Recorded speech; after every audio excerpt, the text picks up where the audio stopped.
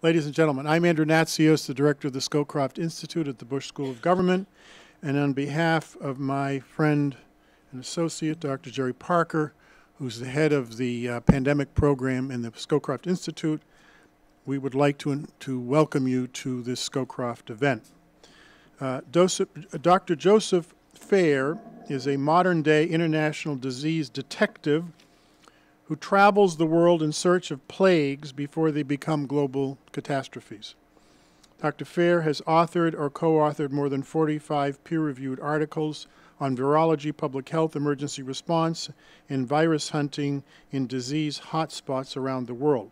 Dr. Fair Dr. Fair's work as an international outbreak responder has been highlighted on 60 Minutes, the cover of the Washington Post, CNN, Al Jazeera, National Public Radio, Vice News, NBC News, and other media outlets. Uh, Dr. Fair has a unique ability to take the complexities of natural disasters, outbreaks, and pandemics, and the convergence of factors leading to the rise and the tide of infectious disease, and breaking them down into a simple, understandable concept for the general public. In addition to his media appearances, Dr. Fair has risen to prominence as an international leader in outbreak response and has appeared on congressional and Senate uh, committee uh, panels, hearings, with the most senior leadership in the United States and international governments, or, or, or uh, governments in other countries, where his ability to break down concepts and explain outbreaks has been invaluable. He is a graduate of Loyola, Loyola University of New Orleans and Tulane University he has a PhD in virology and a master's in public health. Uh, he has just now been named as a senior fellow of the Scowcroft Institute. I just signed the letter today. And in AgriLife has been appointed as a research professor with the Center for Global Health and Innovation. So he's now one of us. Is that right? Joseph? Okay, thank you. So join me in welcoming our speaker this afternoon, this evening, Dr. Joseph Fair.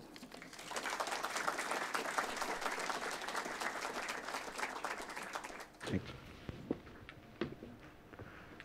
Thank you very much for that very esteemed introduction, and I've got to give it my first try, howdy. howdy. Now, I'm from a really country area, so that's hard for me to do without going back to my roots, but I'll do it. So today I'm going to talk to you a little bit about uh, public health in the modern world. Uh, we're all familiar with a few of the bigger pandemics and epidemics that have occurred of late, uh, Ebola. Uh, I'll talk a little bit about flu, which you really should be paying attention to this year and next year. Um, hopefully not as bad as we predict it to be. Some historical precedents and how these things happen and try to break it down a little bit. Um, I don't know if anyone in this room has ever worked in or is familiar with the intelligence world, but public health is a lot like the intelligence world, and that may seem counterintuitive. But I'll draw this analogy to it. Um, if we're doing our job in public health, the public is largely never going to know anything happened because it really didn't happen to that big of an extent. However, if we miss something, everyone's going to know. so it works a lot like intelligence in that, in that uh, regard. And I can draw an example of that. Um, H1N1. Does everyone remember that from 2009? Uh, we thought it was going to be the global killer flu. The reality is it very well could have been. There was only a few nucleotides difference in that flu virus from the 1918 flu. And so that 1918 flu, we knew that to be the global killer. So we send out the warnings across the world. Billions of dollars were spent in response and uh, preparation.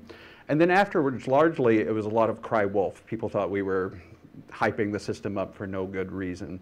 The reality is we did exactly what we were supposed to do in that situation, and it could have been a lot worse. And that will occur again. So at least in this audience, when you're hearing everyone else say they're probably just hyping it up, just say, well, I've heard different.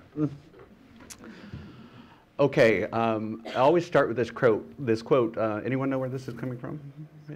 Yeah, absolutely. So Shakespeare was oddly prophetic in how epidemics and pandemics start. Um, I'll just show this picture here on the left. So a lot of people have a lot of different ideas about how do people get diseases from wild animals, especially gorillas, chimpanzees, that type of thing.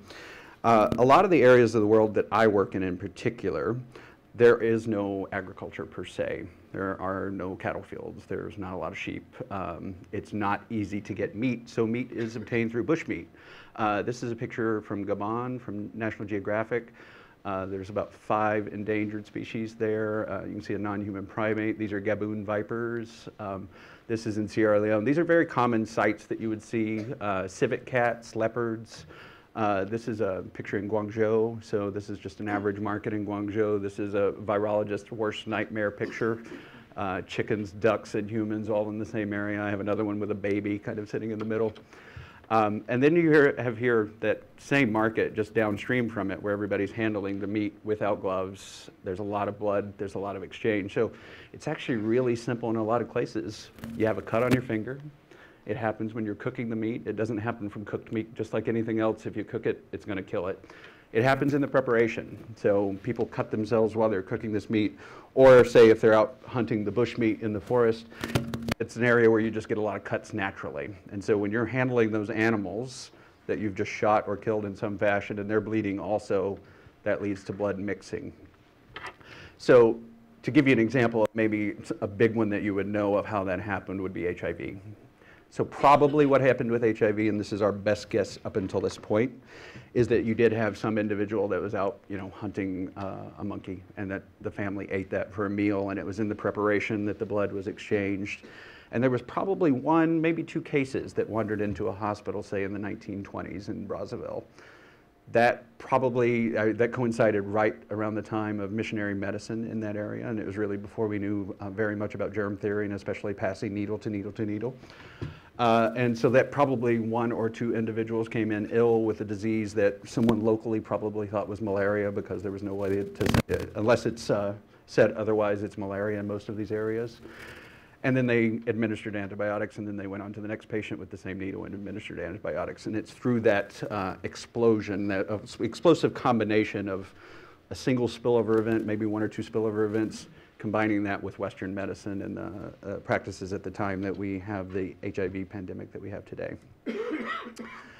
so man and our microbes, um, a lot of times we want to see microbes as our enemies. Um, I think more and more in modern society, especially, we're coming to know microbes as absolutely essential to our life. Anybody that is a microbiologist can tell you they, they are essential to every single part of life. They are the oldest form of life viruses represent the evolution of life just before it became life. Um, so really you can consider them our oldest friend and our oldest enemy. Uh, friend in the sense that it controls everything from your metabolism and how much weight you gain when you eat certain foods, and enemies to when you get the flu and you're at home uh, with various manifestations.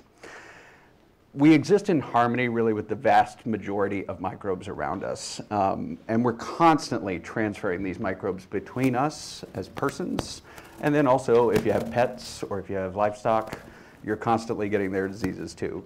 Now, these diseases may not be making you sick, but be assured you are getting them and they are being transmitted to you. I don't mean you're going to die with them or anything like that. But there is the occasional disease that uh, a mutation will happen, either in a disease that we have known for some time and hasn't been deadly for humans, and a mutation happens that results in a pathogenic agent or one that causes disease. Uh, or mutations can happen over time due to our own actions. So antibiotic resistance is a perfect example of that. Um, not really talking about viruses, but that is a pandemic that we have um, put on ourselves and we have yet to face, and we're still going to face the worst of that unless the trend changes, and right now it hasn't.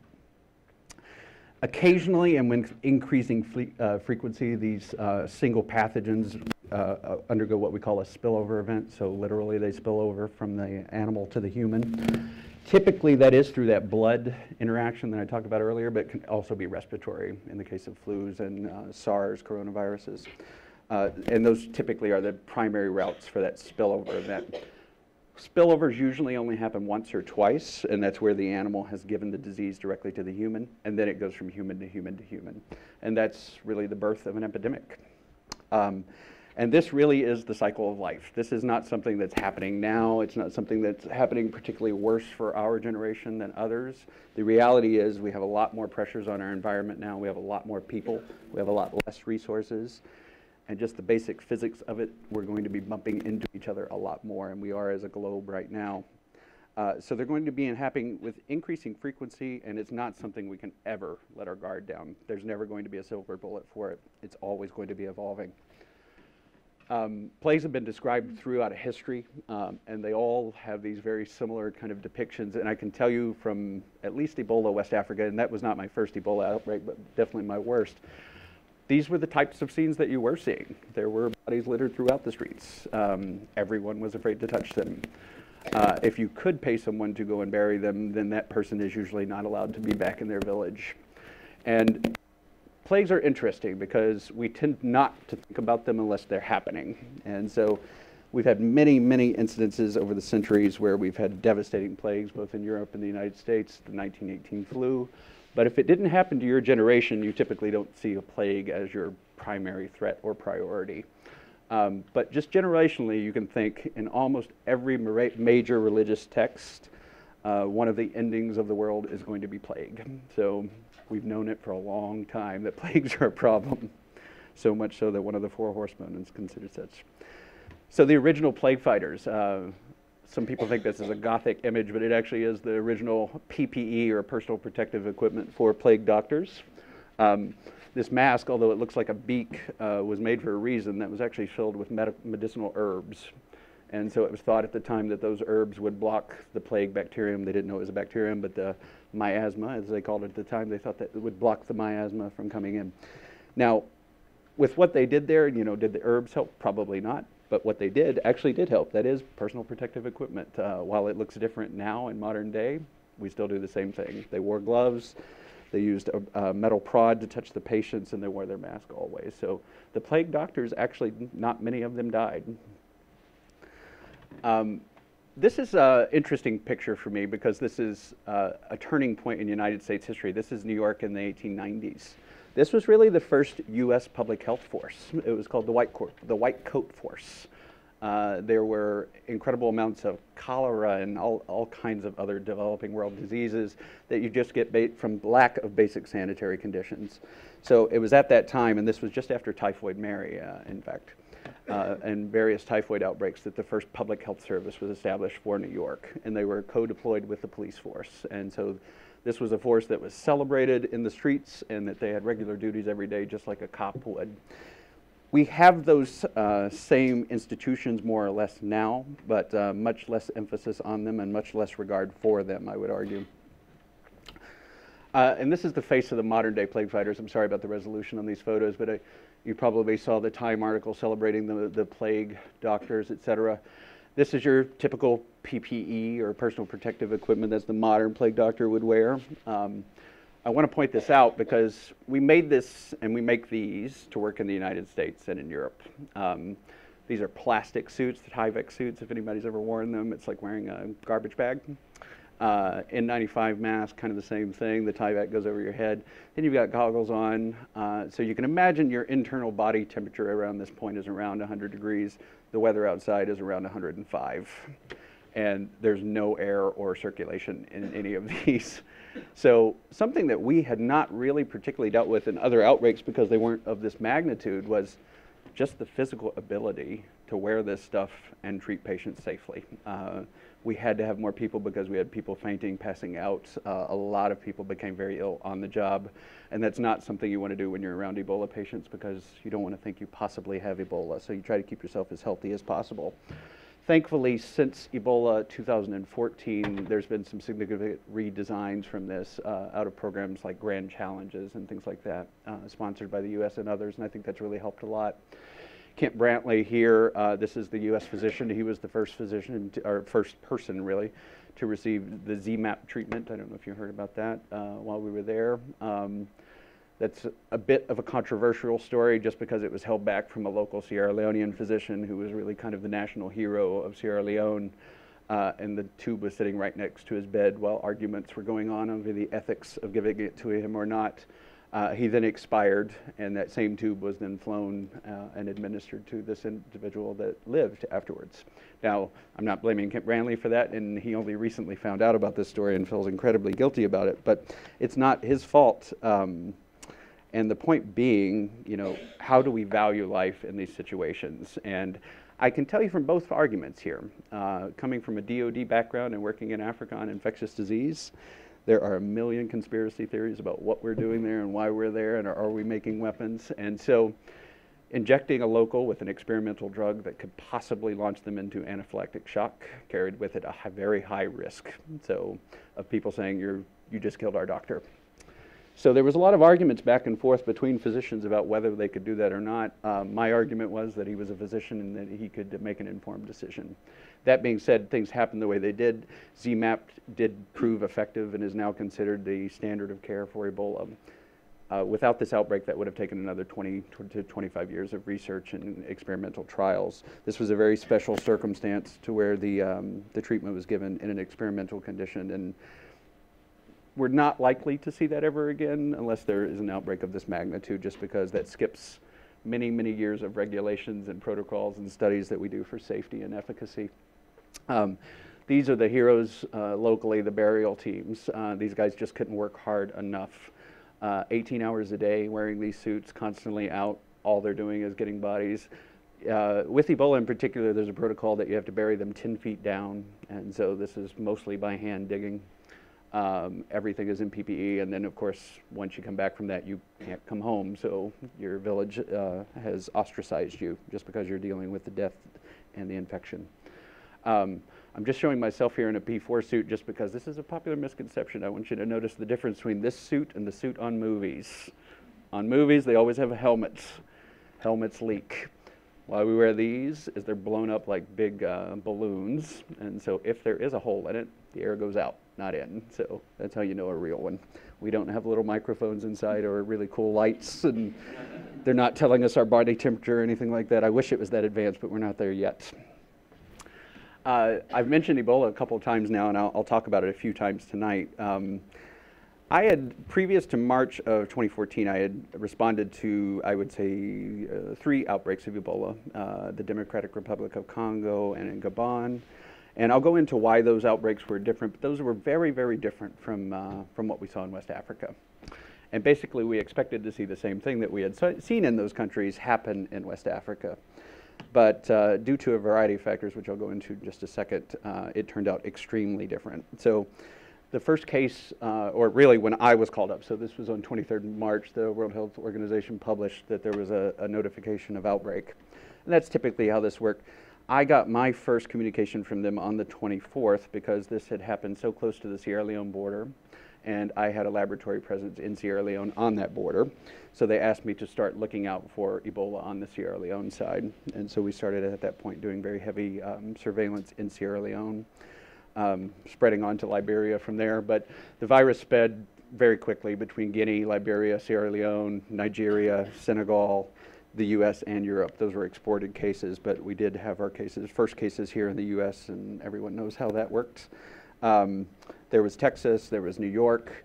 Uh, I can tell you a lot of people paid for those mistakes, and I don't mean just the people, the decision makers in Texas. The responders who came back after that really paid for those mistakes. I was one of them. Um, where it ended up being more like a criminal investigation and treatment after you got back in, and uh, nobody understood what you were doing there in the first place. Uh, to give you the historical context of where Ebola outbreaks have happened and kind of their size and scale, they've largely stuck around the Central African region. Uh, in 1976, uh, there were two outbreaks just across the border in Sudan and in the Congo. The virus had never been seen before that time. This was its first time in recorded history.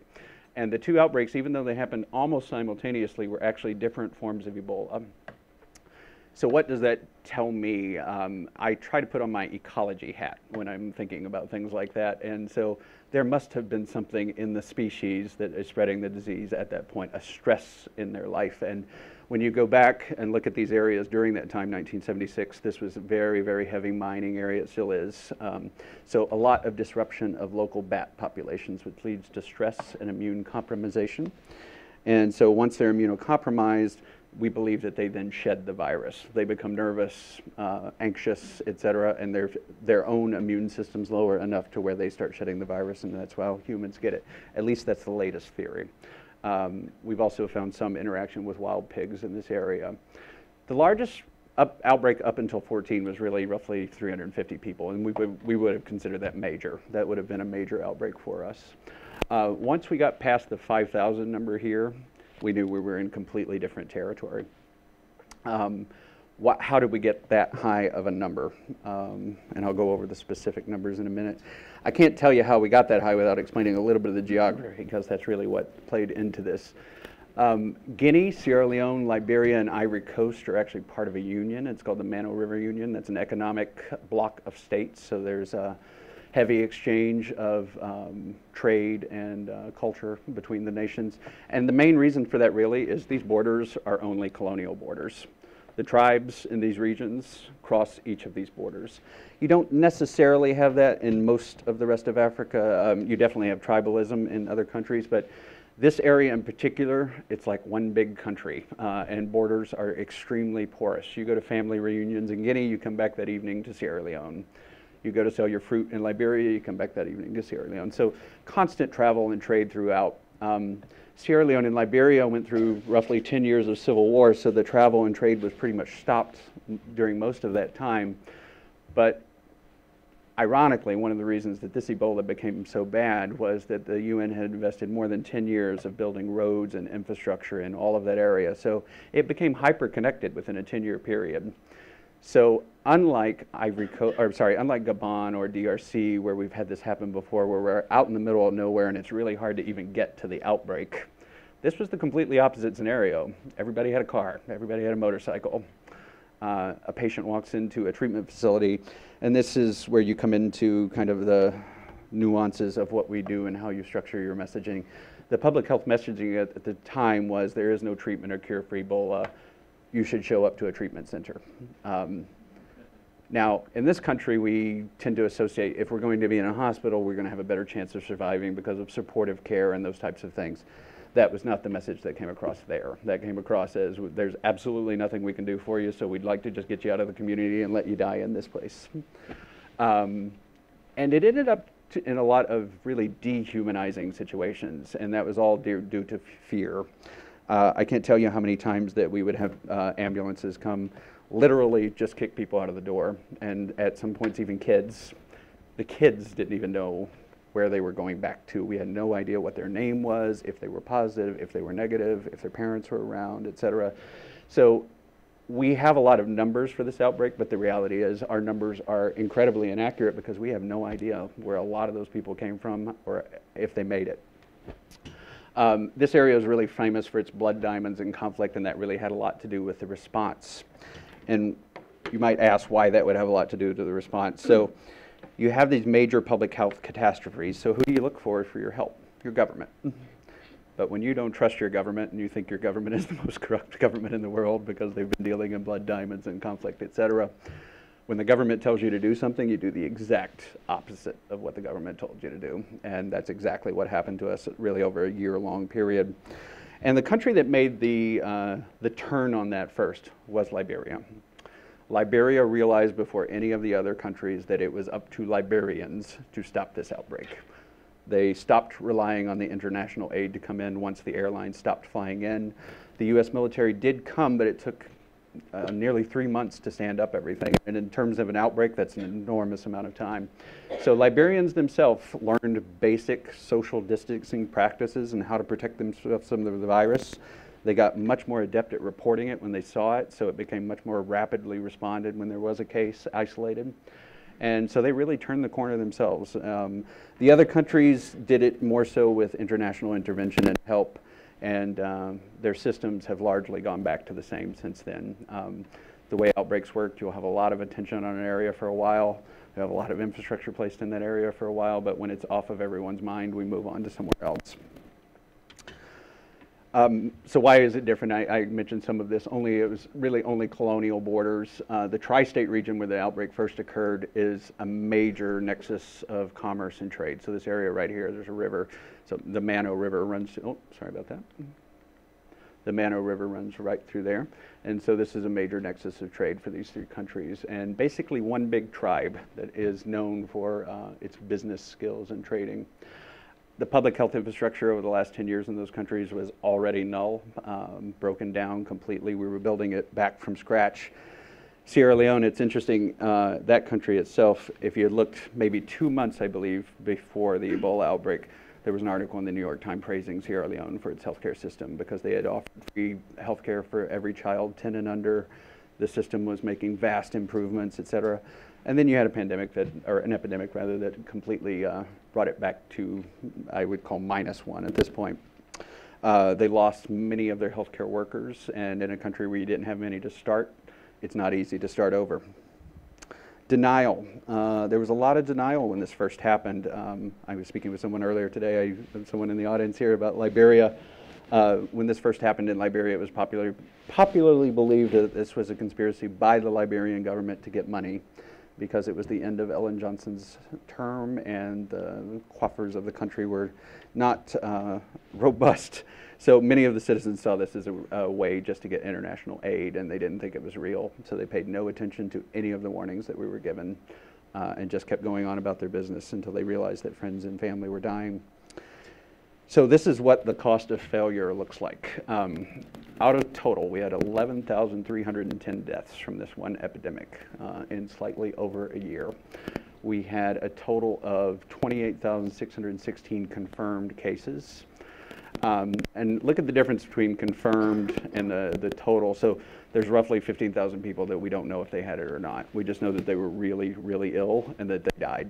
Uh, could have been malaria, could have been Ebola. Uh, they had the symptoms. Often the symptoms are the same. So without laboratory testing, we couldn't tell. The other really confounding factor in this area, uh, unlike other parts of Africa, they already had a hemorrhagic fever.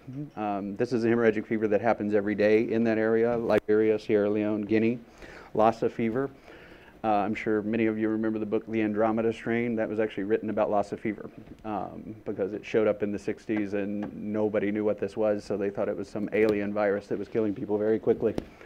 But this is the, the basic public health measures you can take for Lassa, and I always find this really interesting. This is in the local language, but uh, one of the most successful public health, have public health programs ever by the Centers for Disease Control was the simple introduction of house cats into villages in West Africa. Cats are just not kept as pets normally in that area, but you introduce a lot of cats into a village, you have a lot less rats. And um, once we taught people kind of how to maintain their population of cats, et cetera, now that actually works really well, quite well uh, covering your food and water. Clean your house really well. They're saying if you do find the rat, try to put a glove on or something like that. Wash your hand with black soap. Black soap is a, a local term for soap with chlorine in it.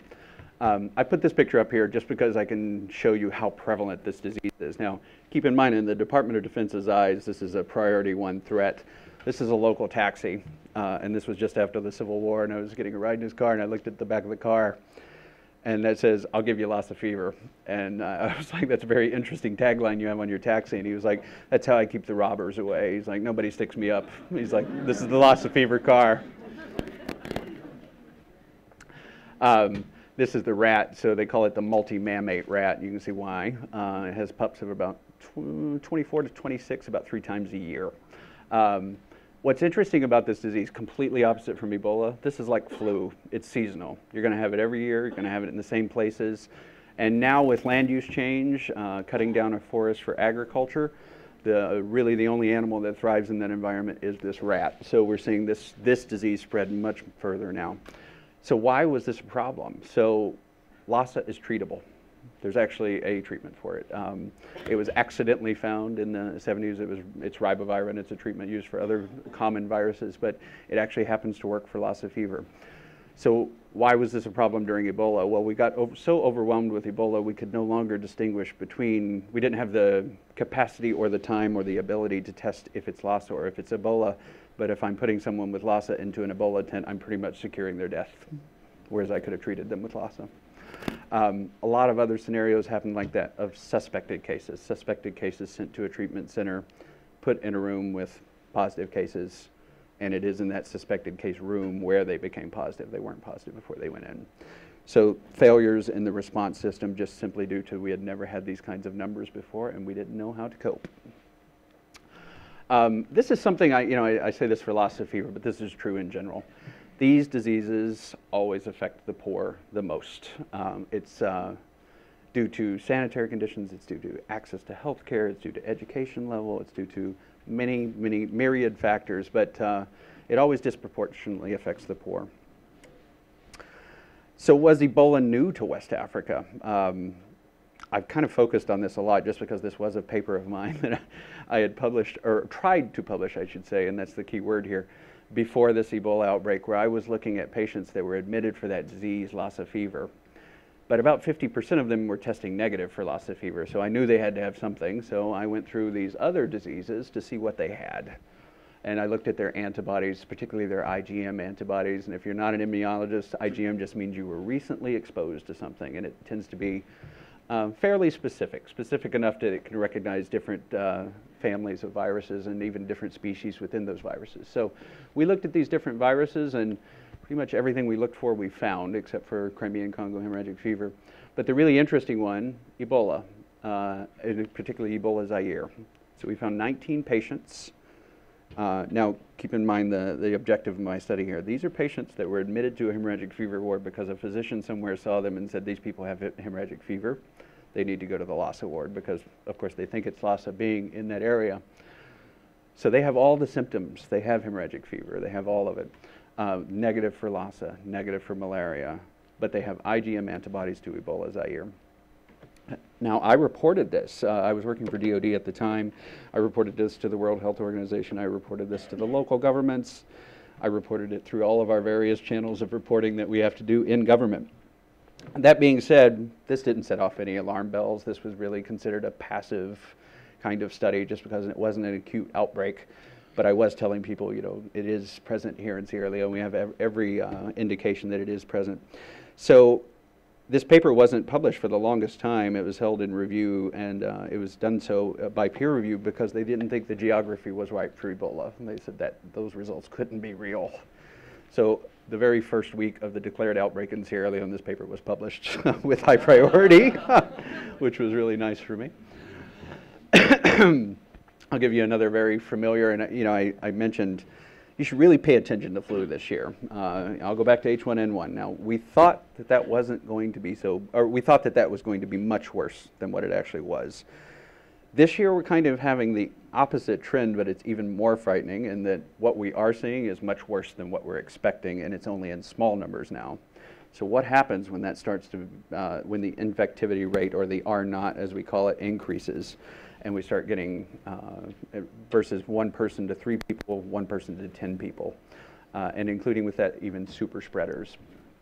Super spreaders are individuals for either immunological reasons or social reasons, they tend to shed or spread more virus than anyone else. Uh, one of the more famous cases was in SARS.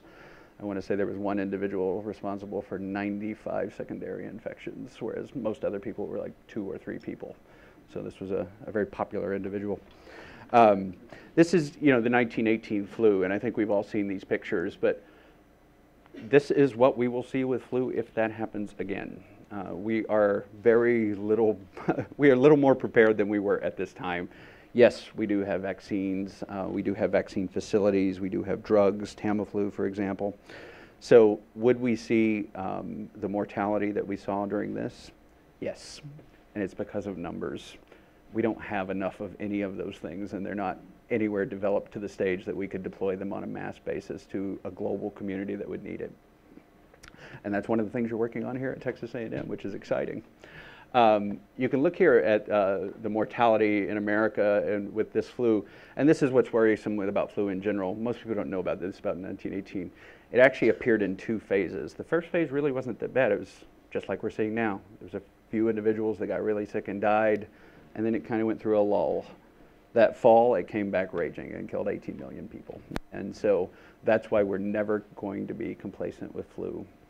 Another reason we're never going to be complacent with flu, it is spread through chickens and pigs and ducks, everything that we rely on for our livestock, and then wild birds carrying it in between those populations. Um, the more closely related we are to a species, the easier it is for us to get their diseases. So we are around a lot of pigs and we are very closely related to pigs, so flu comes very naturally from, for, for us from pigs. Um, I don't know how many scientists we have in the room, but to explain why avian flu is called avian flu is it bypasses the pig phase, goes directly from the bird to the human, and that's what scares us so much about it, because it's through the pig and the mixing in the pig that actually makes the virus less pathogenic for us humans. Uh, if it doesn't go through that phase, like with avian flu, you have roughly a 98% case fatality rate. Thus far, we've never seen a case of avian flu transmitted human to human, but that is really one of our greatest fears, that, that avian flu would become human to human transmitted. Um, 1918 actually had a really personal connection with my own family. There are 10 members of my family in our family crypt that died of 1918 flu um, here in Texas, actually.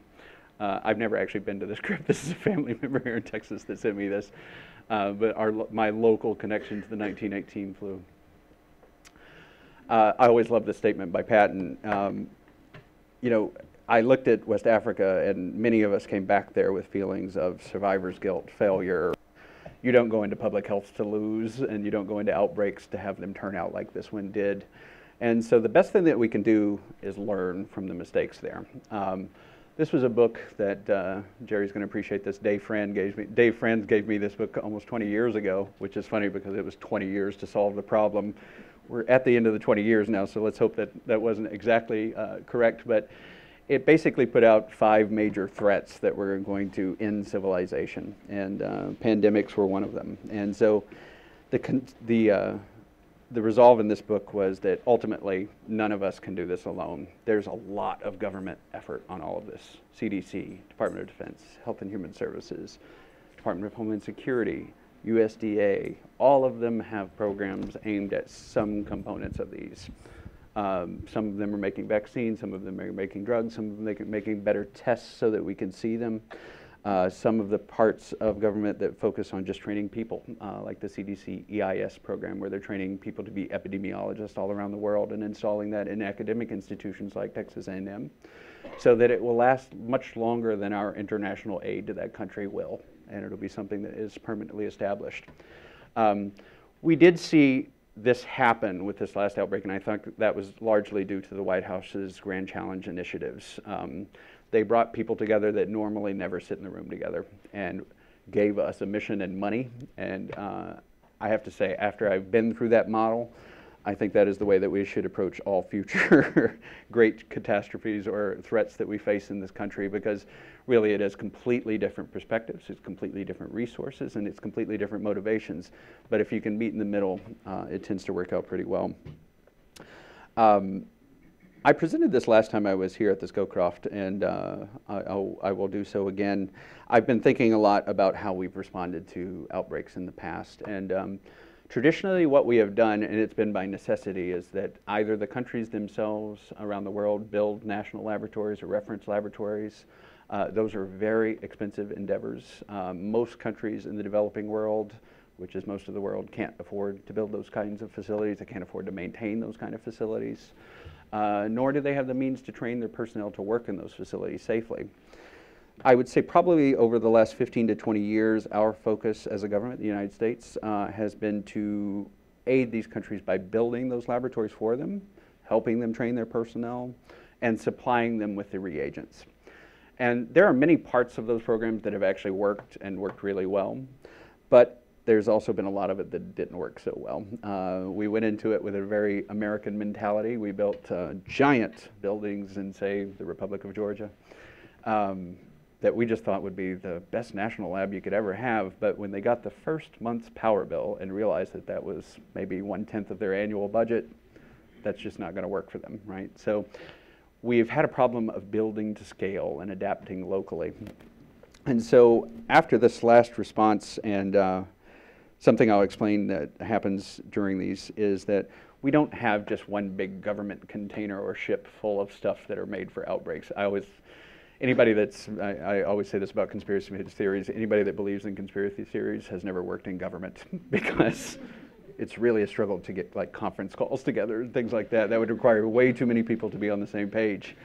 Um, but uh, the, uh, the, the problem that we faced uh, in most of these outbreaks is that we get our logistics and supplies just like everybody else does. We get them shipped by FedEx, we get them shipped by cargo on Air France or Delta or something like that. Uh, what we saw in West Africa is that when you have a complete breakdown in society and everyone is scared to death of a pathogen that is being transmitted, all of those different corporations stop. They just stop going. Uh, it's not worth the risk to their personnel. It's not worth the risk to their country. Uh, I do have to give kudos to Brussels Airlines because Brussels Airlines refused to stop flying because of this outbreak. And I will never forget being on that flight. And actually, the president of Brussels Airlines was, was on it. And uh, he came on the flight and said, I just want you to know that I feel safe flying. And so everybody else will too. So some of them really stepped up, but a lot of them, just out of pure necessity, stepped back. So that led me to think what's a different way that we could do this? How could we make this much more coordinated? And you're going to see World Wildlife Federation up here, just very vaguely in the corner there. This is a, a, new partnership, and it's something that I would like to kind of build off of for outbreak response. This is a new partnership between the Dutch government and the World Wildlife Federation, jointly funded. Uh, and they built a new research expedition vessel uh, that carries all of their equipment, everything from research to supplies to laboratories to personnel to transport. Um, I started asking myself, why couldn't we do the same thing for outbreaks? Because basically everything we use in outbreaks has come down to that same level of size or technology. Um, just to go through these very briefly, problem that we have in every single outbreak, and it's usually because, again, they occur in some of the worst spots in the world, lack of communications. Uh, there are no, um, sorry, I don't know if that pointer is working. I don't think it is. Uh, top right corner, you'll see a communications tower communications always are just terrible, just even placing phone calls. Ideally, the way that we do it in this country is that we put everything into software, we transmit the data electronically, but if you don't have a cell phone tower, we're struggling to basically just call people. We're yelling the results through the phone. They can't really hear you. You're going case by case by case. Completely inefficient way to do it. Um, after this last uh, Ebola outbreak, I will say that we went through much of West Africa and started building emergency operations centers. Uh, you're very familiar with that concept here at Texas A&M and have excelled in uh, both building them and training them. That being said, um, emergency operations centers um, are a facility, and if you have people working in them that have not been trained in emergency operations procedures, it's just a facility. so we ended up building a lot of facilities and just kind of throwing people in there and saying, you know, this is your EOC and now you can handle this. Um, I promote the idea that I think it would be much more functional if we had a permanently functioning EOC structure on a ship where you could integrate people from the national government and they are there with you, reading the data with you, uh, and it's all working smoothly. A lot of what we do now focuses on genomics and genetics. Uh, so why, why was this Ebola strain different? That was a big question. We wanted to get that back for sequencing. And I emphasize get that back for sequencing because we didn't have a sequencer right there. Now we do. Um, but the thing with sequencers, the machines for sequencers are very small now. They're basically the size of a cell phone. But it is the computing that still takes the problem, uh, takes the power. So you have to have entire servers just to kind of sort through this genetic data and analyze what makes it different. Those almost never exist locally. So again, another thing we could take with us, supplies, uh, mobile emergency operations centers. This was a project that I wasn't involved with, but a company I was working with was, um, I think you probably saw that we were evacuating patients through Phoenix Air uh, for some time. That was a Gulfstream the same Gulfstream, by the way, that was used for all of our extraordinary renditions, so not very comfortable. Um, but that was the only airline that was willing to fly people that potentially had Ebola. Uh, they were willing to take the risk. And so basically they sealed off the pilots after the plane. The second half of the plane was all um, contained, and we had very strict protocols about how we were to fly in that. So we knew there had to be a better way to do that. Uh, this was a public-private partnership between the Paul Allen Foundation and the Department of State and this is our new answer to how we will transport, uh, transport American expatriates back from an outbreak, or um, especially of hemorrhagic fever, but of avian flu, et cetera, loaded into a C-130. Uh, everything is pressurized and self-contained. It can stay that way for a week. Caregivers can stay inside with the uh, patients, and it has all uh, the medical monitoring devices. Now, there's only one of these right now, and uh, in my thinking, this is something that we should take an example and build several of these. Uh, we don't have any of these at quarantine airports. Um, we don't have any of these on aircraft carriers. And you might ask, like, why would that be relevant? Well, say you have uh, special operations in Southeast Asia and one of those uh, soldiers gets avian flu, you're going to want to isolate that soldier very quickly. Uh, and it's probably not going to be at a local hospital. In fact, it's definitely not going to be at a local hospital. You're going to be transported to U.S. care. Uh, but how do you do that safely? So the safest thing is to have one of these on each carrier group, and that way you've always got a way to get your patients safely without exposing the rest of the ship and uh, to get them out and safely transported back to appropriate care. Um, these are a lot of, uh, I'm sorry, I keep using the pointer and it's not working, but uh, a lot of the vehicles on the right, et cetera, these are amphibitrucks. A lot of people don't realize these things exist, but they're pretty cool. Uh, they're four by four trucks uh, that then turn into high-speed boats. Um, they're not cheap, but in these areas, there are very few roads. The roads that do exist are very bad, and then often you just come to a river, and your option is to stop. That's your option. and so technologies like that, while they may seem uh, kind of uh, nice to haves, they're actually quite essential for what we're trying to do. Um, and then you would think, well, there's going to be a lot of outbreaks like in the middle of Congo. How would a ship like this help? Uh, that's why I put the air transport in there. That's mostly how we get samples to and fro, people to and fro anyway. So just having it on the ship makes it uh, nice and easy and convenient. And for our security people, uh, a major issue for national security and international security with regards to pathogens has always been what happens to the samples once you take them? So where do you put them? Do you put them in an old freezer that anyone has access to and someone can just come in and take it? These are, this would be a mobile, floating, secure repository. Um, the approach we've taken up until now is going into countries and building several million dollar uh, facilities in their country. Again, it's very hard for them to sustain. And admittedly, most of them don't even want it. They don't want that responsibility. They'd rather just get rid of the samples or destroy them. Um, so I present that this might be a better option in the future. And it just so happens that Texas A&M has a fleet of ships. so this would be kind of the proposed partnership, uh, or somewhere to start, I would say. You have all the resources in Texas to be a pioneer in this field. And uh, given your own experience with Ebola, you know, pioneering stuff you may not even know about. UTMB has the Galveston National Lab, one of the largest uh, biocontainment labs in the, in the U.S. Texas A&M obviously has the Maritime Academy and the fleet in Galveston. Uh, and very few people know, and we, are, we have a, a, very special privilege in this country to have a public health commissioned corps. Um, most people have no idea who they are. They think they're naval officers because the uniform and the rank is the same. Almost everything looks the same uh, except that you'll notice that little caduceus on their, on their badge if you look really closely. Uh, they're actually not a Department of Defense uh, agency. They are uh, out of the Health and Human Services. Um, I think back to this, and I think I mentioned this in my last talk. Um, the United States Public Health Service, the reason you probably don't know it today, is it's really been diminished to a point that it's almost uh, not even acknowledged even when I was growing up, I can tell you that I knew C. Everett Koop so well because he was on everything and his message about public health, even in primary schools. And that's really saying something coming from someone from a very strict Mormon background that they wanted to incorporate vaccinations and public health into primary school and education. So um, we still have a Surgeon General. You probably don't know who it is. Most people don't. the branding is not there as it used to be.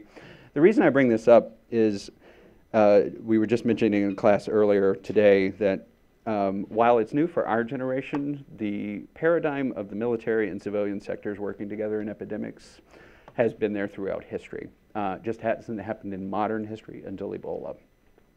And uh, a lot of that is that risk aversion, the image, you know, we're not there making biological weapons, we're not there to hurt your people, we're not there to take your sick people away and make weapons from them, we're there to help. So um, there's been a big divergence from that really over the last 30 years, and military has stepped or stayed in its own realm more or less. Uh, very, I won't say little support in outbreak response, but I would say very little visible support in outbreak response. Um, a lot of support for it, but just not visible. Um, my idea here is that the perfect bridging agency for that civilian and military sector, because I observe this personally in Liberia, is when you have a lot of civilians that have never been in the military, never been exposed to the military, don't know how it works, there's a big learning gap there, and people really, uh, it took a few weeks for people to kind of get into the groove and know how one another work and how the organizations work. Public health service is mostly civilians, but in a uniform, and they understand rank, and they understand chain of command, and they understand how it all works. And then it even comes down to logistics. Um, once all the commercial flights had stopped, we had no way of getting people into Liberia, Sierra Leone, for example. we did have military flights, but uh, the way that works is if you're not uniformed, or if you're not in the system, you can't fly on that flight, but a public health officer can. So um, while I would say that we are definitely on a trend of diminishing and almost uh, disposing of our public health service, I would argue that we need to do exactly the opposite at this time. Uh, in fact, focusing a lot more attention on it. And I'm not a fan of building bigger government, but this is one that I would build a bigger, bigger part of. So, you know, the question here, war without an army, there, what we found in Africa is we just don't have enough people to do this. And there were the people with the enthusiasm. Uh, and again, that's a, why I bring up the public health service as a potential option. We had thousands of people volunteering from all over the world, especially the United States, to come and help. Uh, everything from nurses to doctors to vets. But the reality is, we had no idea what these people's background were. We had no idea what kind of physical condition they were in. We had no idea what uh, knowledge they had with related to infectious disease. And to be frank, unless it was this worst case scenario, we would have never, ever, ever done that.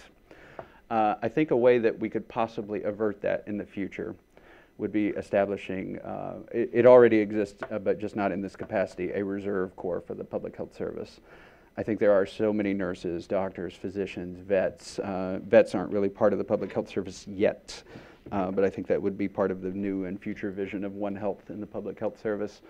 But I think that reserve status and allowing people, just those same people that, that wanted to volunteer and come and help us, allowing them to come in an organized fashion, knowing what training they have ahead of time and knowing where to place them based on that training, how to get them there safely, how to get them back safely if something happens. It's just a much more, honestly, in my opinion, logical approach to doing this. It will be expensive, it will be a cost.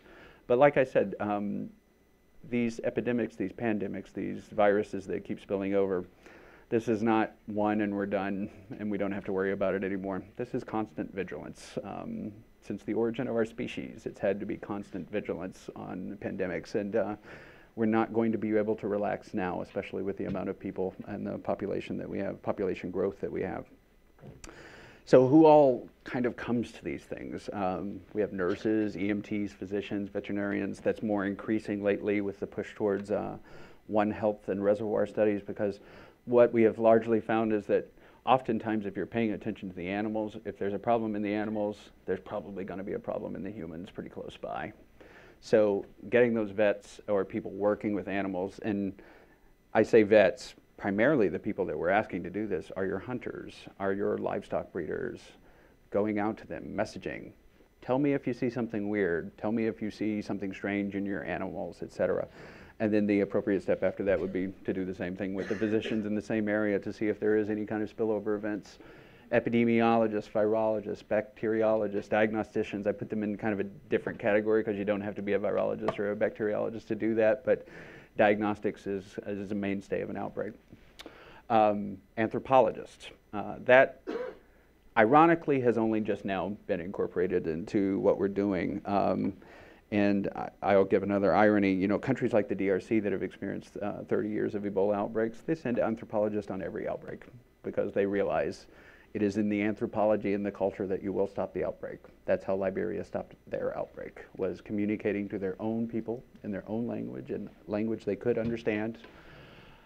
and having an awareness of their background and fears and that, you know, 10 years of civil conflict. Hazard communication specialists, just like I said earlier, people with the right message, someone that's not going to say there's no treatment or vaccine, but please do come and see us. Um, we need to word that a little bit differently before it goes out mathematician and modelers, you wouldn't think that, but that's how we project the spread. Whenever you see those graphs of we think it will go here, we think it will go here, that's all based on mathematical algorithms. And that's a growing field. Uh, I just returned from Washington yesterday where we had a, just a room full of mathematicians and modelers looking at infectious disease. Uh, logisticians just can't be underestimated how critical the logistics are. Um, you know, you try to think of these things like I'm a laboratory person, so I'm going to go in and work on the laboratory. In reality, I have like 18 other jobs because I've got to get all the stuff to go into the laboratory. I've got to get the technicians rounded up to come in with me. I've got to do personnel. I've got to do HR. I've got to do all of these other things. Logisticians kind of take that away for you and let you do your job and let you do your job well. And so Uh, they're not always the most glorified of individuals, but they are the absolute critical link. Uh, trauma psychologist, another area where the DRC has really led. I have to say, I had responded to two outbreaks there before, was on my third, and it was on a flight back to the outbreak with a group of maybe 30 Congolese, and I had no idea what they were doing. And I asked them, and they said, "Oh, we're all trauma psychologists. We're there to talk to the community about what's happened and how to reintegrate people back into the village." So, while we know that HIV is different from Ebola, that's not very well communicated here, right? They got the HIV message. If this person has it, they're going to have it forever. There might be treatment, but you have to be really careful. Ironically, people think that same thing is true for Ebola. So now we had to go back and do the retrospective campaign of Ebola is not HIV. Once this person is cured, they're cured. They can come back. Uh, I can't tell you how many people have been displaced from their homes just out of pure fear and psychology that they did have the disease and fear that they might bring it back with them even now. Architects, you might not think that's a logical choice. Uh, the building of these outbreak response, especially patient treatment facilities, is an art form, uh, especially in infection control. And it's a very complicated process. There are very few people specialized in doing it, but it's going to be needed more and more and more. Um, particularly for this audience, I need politicians in policy. Um, we can scream all we want, just like me with my little Ebola findings from Sierra Leone, screaming how important it is to me as a virologist. Uh, but that didn't reach the right person, right? And uh, even if it did reach that person, how do they interpret that as a threat? Because it was somewhat passive at that point. Retrospectively, if I was looking at that in a leadership position, if I saw that data, I would say we need to allocate and pre-position some resources there just in case we do have an Ebola outbreak. Um, that would have been the right choice. And lastly, you.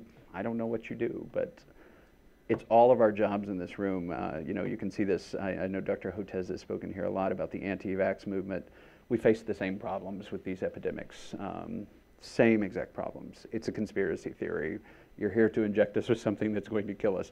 No, what you have already is going to kill you. We're here to try to help you uh, to not go through that. And uh, oddly enough, you see that a lot in this country. Uh, I moved back to New Orleans three years ago from Orange County, where I was just incredibly amazed at the level of wealth and the lack of vaccination. Uh, it was incredible. Um, and I have spent most of my career in areas where parents are really willing to risk their lives to get their children to get those same vaccinations that we're turning down. Uh, so, talk about a step back. And what was even more ironic from that is when I came back from Ebola, I had, uh, just like at social parties and things, people would ask me, oh, is there an Ebola vaccine? Because my kid, and I was like, do they have an MMR? You know, so I'd worry about measles, mumps, and rubella first before Ebola. But uh, yeah, the mindset of fear. So I think I'll stop with that, um, and I'll take any questions you have, and I'm happy to dialogue about any of these these points we've talked about and help you understand anything you want. Thank you. Well, jo Joseph, thanks. That was a riveting talk. Um, and um, my, my first comment is Texas A&M is going to be in the fight. We're going to join them in the fight. Um, I think you know we actually have expertise and willingness and ability to uh, fill many of the, the slots that you put on that last slide. And um, part of that certainly is going to be a policy voice, and so we can Absolutely. beat the drum to, to keep up the fight. Um, one question, I'll take the moderator's prerogative to ask the first question, then I want to open it up to the audience. Um, you mentioned uh, several times you're working for DOD, and yeah.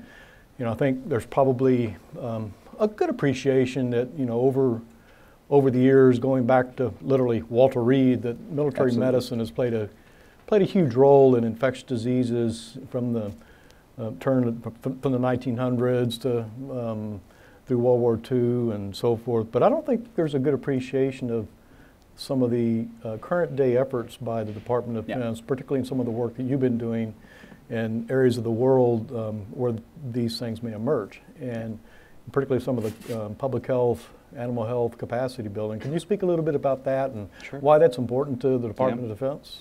Absolutely. Now, I'll start it off by saying, you know, I am a regular critic of our own Department of Defense for not highlighting this type of work more. Everybody knows about how many bombs we drop. Everybody knows about how many people we've killed.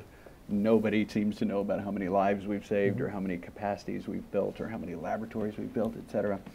Um, I would say pre 9 11, but especially post 9 11, we had a major emphasis on helping countries that where we knew a lot of these very dangerous uh, th- diseases that also happen to be what we consider security risk were endemic. Uh, the Department of Defense really took on a mandate under what's called the Cooperative Threat Reduction Program uh, to engage foreign governments in a mil-civ cooperation, so military to civilian cooperation. Not the most common, uh, but it actually worked out extremely well. So my own personal experience was that uh, I took over the Ukraine country program. And so I went into Ukraine for a period of two years. Ukraine was very famous during its Soviet era uh, for being a weapons production country, uh, especially in a few of the institutes in especially Lviv and Odessa. So uh, Department of Defense money went in. We convinced those scientists to uh, convert those laboratories to true public health facilities, to decommission a lot of the more dangerous work that they were doing with animals that we consider in- modern day not safe, and uh, not safe just for them, but you know they can also spread it with uh, outside the laboratory. But we also wanted to minimize that weapon and the weaponization capability anymore. Um, and to say that we minimized weaponization capability is not really true, but what we did was gave them a whole different set of tool sets and a whole different set of motivations to work on different things. And largely that has worked, other than maybe some uh, poor infrastructure choices that we made it a few, Yes. few times along the Agree. way. Agree with that. And that, uh, you know, a lot of that has to do with U.S. contracting system. When you ask a contractor, what does this person need, they're going to tell you it needs 10 times bigger than what you actually need because that's what the contractor is there for. So, Okay. Um, I'd like to open up to the audience um, with questions. Andrew? Uh, the most revered uh, cleric in Iraq among the Shia, which is Mhm. like 55% of Yeah. was the Ayatollah Sistani, Yeah. who issued a fatwa during the, after, after the war was over, that no one of the Shia could work for DOD or the U.S. military, but they wor- could work for USAID. yeah. And he had it read at each mosque because his perception was, not inaccurately, that it's a little difficult to mix the two things. that you Absolutely. Argue should be mixed. And the perception in much of the developing world is exact, is the same Yeah. as the Ayatollah Sistani. We did a branding campaign for the USAID logo and we tested it. And some people in Congress said, why don't you use the American flag instead of the Mhm. USAID logo? So we tested that. Yeah. And it was very interesting. A- Across the world, people said the American flag means the military. And we do not want the military associated with Mhm. our development program in our country. We then tested the aid logo and they said, we know the aid logo, we know all they do is this stuff. Uh, Our, the Yeah. stuff that we want. And so there was a very big disparity. We hired a private company to do the polling for us. And I didn't want to tell Congress that there was this disparity because people think, you know, people are hostile to the United States. They're hostile because they see DOD, and I'm a former military officer, I'm not hostile to DO at all. Yep. But there is this dif- difference in perception. Is that not a problem? Uh, it is a problem, but I think it's our lack of branding, as I was talking about earlier. Uh, in Jerry's class earlier today, I was just bringing up another example. There was another hemorrhagic fever very similar to Ebola that was a massive problem for Argentina. Argentine hemorrhagic fever, Junin is the name locally. Um, it is the closest cousin to Lassa fever, the one I mentioned up there, and it affects mainly the same populations, poor farmers. Uh, at the time, it was considered a major security threat to the United States military, so USAMRIID developed a very successful vaccine for Junin. And uh, it's very, it, hardly anyone ever knows this story, but uh, it was a case where it was seen that this is not just a military priority, these people actually need this vaccine. So all patents and facilities and production was given to Argentina and transferred to Argentina, and it's been there for the last 25 years, and they've had almost zero cases of Junin since that time. Yellow fever vaccine, military invention. Most vaccines tend to come from military know, I laboratory. Oh, I know, I'm just explaining to the broader audience Right. that most of those vaccines, and I'm not going to say all of them because that's not true, but many of them, especially the ones that are happening in these areas, it's considered a threat to the soldier first. But the way that both Dr. Parker and myself have used that system and integrated in that system is yes, it's made for the warfighter, but we see the broad application to public health, and um, I've spent my career selling that. And so, thus far, I've never had a problem. Uh, I am always pretty open about wearing my DoD hat. Um, again, we were talking earlier, there are protocols established, so, you know, if there's an epidemic and I happen to be the first person there and in charge, if CDC shows up, it's automatically understood I stand down. I'm then in a support role because that's CDC's mission. So, And maybe another good example that is, really goes under the radar screen that it's a, a DoD capabilities are, we have um, OCONUS Laboratories. Yeah, And so we have, um, not many, uh, but we have six, Yeah. six uh, Army and Navy laboratories in um, important parts of the world. And they actually have developed very good relationships with their, not only the host country they're in, but with the whole region. And they're, um, have such good relationships that they are actually very well uh, regarded, very well respected, and, and they actually a source of funding in some of the countries to help establish um, um, surveillance capab- capabilities and DEPI capabilities. And, and so this is one of those, again, one of those hidden, you know, national assets that um, we don't take um, care, uh, we need to take better care of these national assets and, and the people that deploy and work in these laboratories, Yeah. because they're really critical. And even what Jerry mentioned there, the vast majority of those employees in those laboratories are local nationals. Mhm. We're there to train them, we're there to help them. So there will be US officers and other personnel coming through, but the vast majority are locals. Um, And the best example I can give of this, it's going through hard times right now, but look at Cairo. We have had a US Navy laboratory in Cairo for 60 years. It is Yes. considered a hallmark of their public health system. Yes. Everyone knows this laboratory. Uh, And if you're trained in that laboratory, you can get a very good job anywhere in Egypt or outside of Egypt. So, yeah, those are all DoD inputs. And again, we just don't advertise them that much. And I think it's largely due to the fear that it might be construed as, oh, you're there doing, conducting surveillance. That's why I was even hesitant to mention intelligence, because that's usually the first question I get is, are you a CIA officer here to see our situation, et cetera? So we try not to draw those parallels too many times. Of course, they're all working together uh, for information. But um, yeah, if you're upfront about it in the first hand and just what we're there for. And then I find uh, I always tell people I, I bring out my southernness in this. Uh, give me a chance to screw up before you really get angry with me. and if I screw up, I'll, I'll take it. But like uh, until then, at least give me the benefit of the doubt. I- I see, I see some students in the audience. Um, Any questions from any of the students? As a Jared Roma, I'm a junior poli sci major here. I was uh, the the idea sounds it sounds amazing. But I, I was wondering, uh, talking about DoD resources with the USNS Mercy and Comfort and the Maritime Prepositioning Force, is that not a capability that could perhaps be better utilized rather than coming off with something entirely new? Indeed, they probably could, but um, we are dealing with such a specific circumstance with infectious disease. Those are triage and trauma hospitals. They're not really infectious disease or isolation wards. I mean, theoretically, we could retrofit them to do that, but uh, I, I wouldn't see that happening with those those assets just because they are so heavily used for standard uh, use right now. I, I learned a little bit about those ships actually during Hurricane Katrina, and Yeah. actually, there's a lot of ports they can't get into. Yeah. And so that, that's, would maybe Yeah. argue against, Yeah. against not. Yeah, they're, they're tanker ships Yeah. as opposed to you know more of a sizable one or less sizable one, right? I, I have a question, maybe I'm gonna put my hat on as a student that maybe um, some are um, maybe hesitant to talk about. And so, um, Dr. Fair, what kind of maybe motivated you um, to maybe go down this career path and where there's some, where there's some pivotal pe- people uh, that, um, that uh, kind of helped you um, go down this line? And that might be helpful to our emerging scholars here that uh, might want to get in the fight.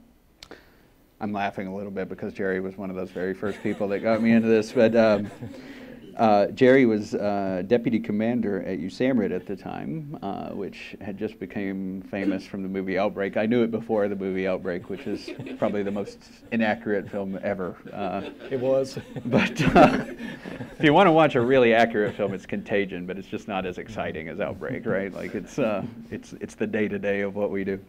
Um, but I actually uh, remember writing a letter. That was back when we were still writing letters to Dave Franz and Yeah. uh, the commander at the time, and uh, remember him very surprisingly responding to me as a freshman in college and asking me to come up and spend the summer. And uh, I spent the summer around the office with uh, with Jerry and Dave.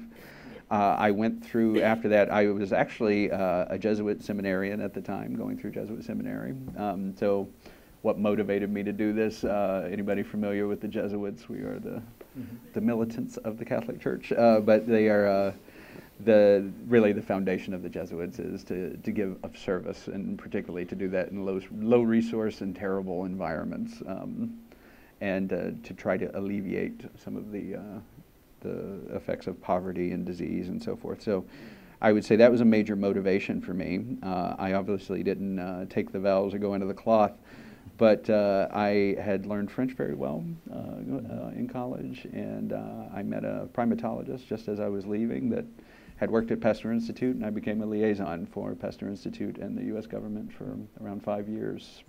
And that was before I had any graduate degree, so this was really when I was a technician, kind of at the lowest level.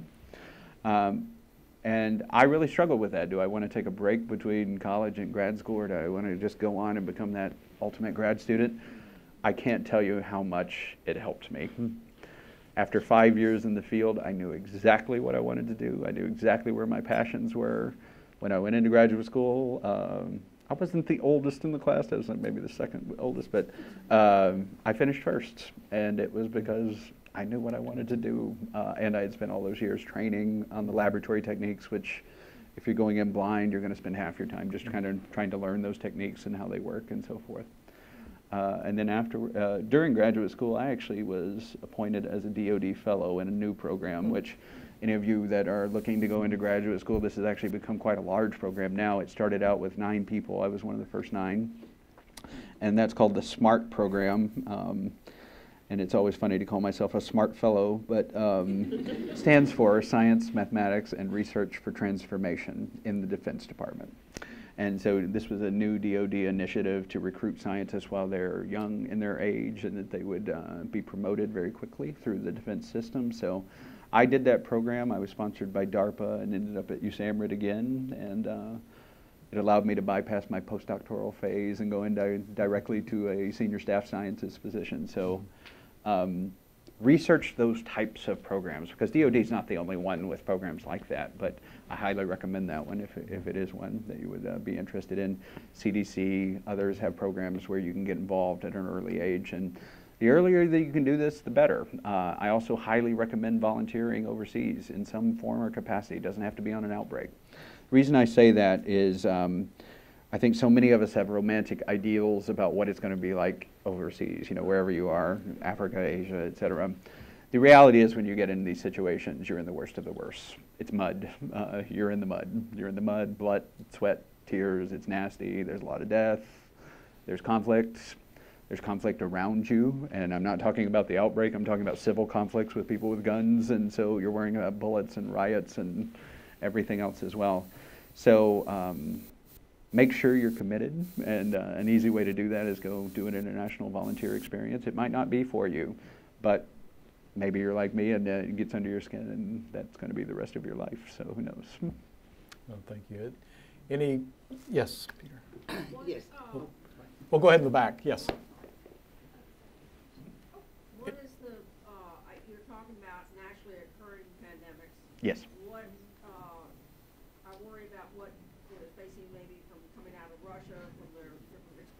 had going on for a long period of time, or North Korea, they Yeah. you know, set off a bomb with Mm-hmm. Yeah. anti bombs. What, what type of preparedness Mm-hmm. do we have? for Yeah. that? What do? The preparedness is essentially the same because w- what we do is we try to establish these baseline surveillance systems for these diseases that we're worried about. And it's when we see an anomaly in that system that we can say there's an epidemic there, there's something strange going on there. Um, I'd say that we're further along on the animal side on that than we are the humans. And the reason, simple reason for that is in most countries, animals are worth more than humans. Uh, the livestock industry is much more valuable than your human population, so people tend to pay a lot more uh, attention to the livestock. We're getting there with our human surveillance systems, but every year it's a fight. Every year it's a fight for your budget. Um, if a pandemic flu didn't happen this year, the question you get the next year is, why do you need that much money? And the year that it happens, it's going to be, well, why weren't you watching for that? Uh, so, like I said in the beginning, public health is a little bit damned if you do, damned if you don't. That being said, you know, we, we try to maintain a balance uh, and try to get ahead of the curve as much as we can. That, that topic is probably worth um, another um, seminar like, uh, like this focused on that topic. Yeah. So thank you for the question, Yeah. Peter. Yes, um, I come out of the uh, world of academic tourism, Yes. and I noticed on your list that you did not list the world of tourism. Yeah. I would at least like you to mm-hmm. consider that. Mhm. We move more people around the Yeah. world than any mm-hmm. place else. Absolutely. Either Yeah. the first, second, or third largest industry, Yeah. as you want to mm-hmm. count it. Yeah. And one of the problems, and- and when I listen to you, you sound just like when we speak about risk management Yeah. in tourism. Yeah. When something doesn't happen, why are you spending the money? Yeah. When it does happen, why didn't you waste the money? Yeah, So I exactly. really interact with you on that. Yeah. One of the problems that needs to be considered is that often when you do it right according to public health, you do it wrong according to parts of the tourism industry. Sure. And I give you one example of that is what happened with H1N1 in Cancun and in Mexico, where mm-hmm. they did everything right, and they almost had a government revolution because people stopped coming, which caused such economic chaos Yeah. That all the hotels went under the 60% uh, level they needed to survive. Or Toronto, Canada, with Yeah. SARS, where if there's anything they hate, Yeah. you say the World Health Organization, and they go into a complete Yeah. tizzy. So one of the things I think we need to maybe work on is how do we interact those issues, Yeah. the moving of millions of people Yeah. carrying diseases from one place to the other, Yes. and secondly, the economics of it. So, you know, I think there's some low hanging fruit in that, right? Um, one example is the Hajj. Every year we have the Hajj. Uh, millions and millions of people coming from every single corner of the earth. Our biggest fear during this Ebola outbreak was someone was going to go to the Hajj and release Ebola into the crowd. Let me take that back. That's probably our second biggest fear. Our biggest fear was Middle Eastern respiratory syndrome, which is circulating in the Middle East right now. And our fear that that would be spread to, say, an African that came back from the Hajj, and then they spread it in an African population, which Saudi Arabia is ill prepared. Africa is not prepared. And so you would lo- be looking at a mass uh, um, casualty event there. Uh, I'll bring up an interesting point on tourism. I don't think about tourism as much uh, just because I don't ever get to go to work in any of the nice countries. It always ends up being the conflict zones and things like that. Like, uh, not too many tourists following me in there, but um, but what I was thinking about that I, it was it was really a surprise for me was uh, you know this Ebola outbreak happened in West Africa. Um, as Americans in particular, our sense of geography is very bad, but there's literally thousands of miles between West Africa and South Africa. South Africans' tourism dropped off by about 70% during Ebola. Um, they had nothing to do with Ebola. they had a lab sent there, but otherwise, there was no Ebola in South Africa, and you're thousands of miles away in a completely different system. Um, but we just associated Africa with Ebola, and tourism cut off altogether, crippling the country, and that's probably a large reason why South African Airways is going bankrupt. I think we have one more time for one more. question. Um, Following up on this, uh, the epidemics occur in increasing amounts of publicity in social media, and um, basic rule is that fear tends to run faster than facts. Absolutely. Um, How do you, uh, how do you plan, how do you adjust, how do you continue to adjust to a world of where you can't control the message? When you do send out the message, it gets, it gets warped. and, Yeah. uh, And then you have people uh, just trying to take advantage of that. Again, Yeah. I'm thinking of the US reaction. Um, for the lesson I would say that I have learned over the years is the messaging comes first, absolutely first. Um, you've got to get ahead of it. Um, as scientists, as physicians, as clinicians, as laboratorians, we want to get in there. We want to get the patient. We want to get them isolated. We want to get the data. Um, but the reality is, you need to get ahead of the fear first. Um, that's where we lost it with Ebola. The fear got ahead of us. Um, an example would be someone would come into a treatment center and they would be indeed positive. They would then walk out of that treatment center, uh, catch a motorcycle, drive to another city, probably in Guinea or in Liberia, go to another treatment center hoping for a different answer, hoping that was a false positive. Um, but what they've just done is expose the taxi driver and their families and everyone else. And so we had a lot of that. The fear Yeah, got ahead of us. Yeah, even in, even in uh, Texas, during the Ebola in Texas, we had, I would, I, I call it legitimate public fear, but it became irrational. Uh, But a lot of it because we didn't have a good message. And I, you know, I, I want to go back to your earlier question about, you know, worrying about the bioterrorism. I, I can tell you that myself, I am much, much less concerned about bioterrorism than I am natural pandemics and epidemics happening, um, and especially with regarding flu. Um, nature is much smarter than us, and it has had a lot more time to play with the recipes. Um, and so, you know, back when in my HIV days, when people would ask me if HIV is a conspiracy, I was like, I'd love to meet the scientists that met it or made it because it's truly remarkable virus. So um, I'm not quite as worried about the bioterrorism. It's definitely an issue. Um, we were just speaking earlier about the North, North Korean defector that just came across. Interestingly, his blood was taken, and he is highly positive for anthrax antibodies. So what that means is he either actually got exposed to anthrax naturally in North Korea, or their military is vaccinating them for anthrax. And if they are, why are they doing that? Mm-hmm. Well, thank, I want to first thank the audience for all the, You gotta let me stop on that. oh, okay, oh, you were going, you were going, okay, go Oh no, I'm done. but I think we left a cliffhanger. That's always the perfect. Yeah. That's a good one. To be continued. But we'll, we'll have a, we'll have a session on that, but, um, it, it, the, the North Korea weapons of mass destruction is a big issue, and we certainly know about the, the uh, development of the nuclear weapons and the missiles that can carry them. Um, I think there are other, other threats that we need to be concerned about as, as well. Um, the problem is, it's so hard to get information, it's so hard to, to know. Yeah. Um, But um, with this recent information that Dr. Fair just mentioned, I know I've had conversations with people in the South Korean government uh, and and military. Um, I I think we have to assume and- and that, and and South Korea needs to take all necessary actions to be better prepared for any Absolutely. biological threat, whether it's intentional, uh, natural, or accidental. And we need to do the same here in the United States and help, help, um, help in the global community where uh, the capacities are needed so we can prevent an outbreak anywhere from becoming an epidemic or pandemic. And that's really what you know, our goal is. I just want to close on one last point. And you know, you just said three things. You said uh, naturally occurring, bioterror, or accidental. That third one.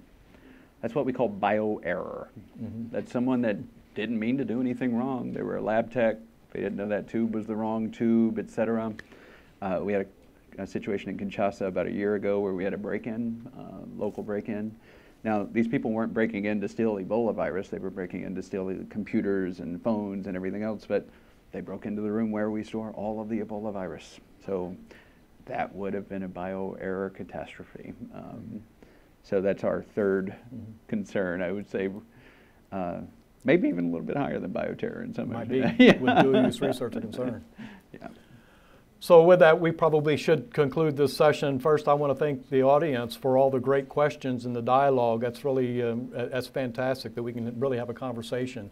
And then I really want to thank um, Dr. Joseph Fair for, actually first for his, his career, his, his work that he's doing and, um, and being a disease fighter where it ma- matters the most and, and for a wonderful talk tonight. So Joseph, thank you. Thank you very much. Thank you.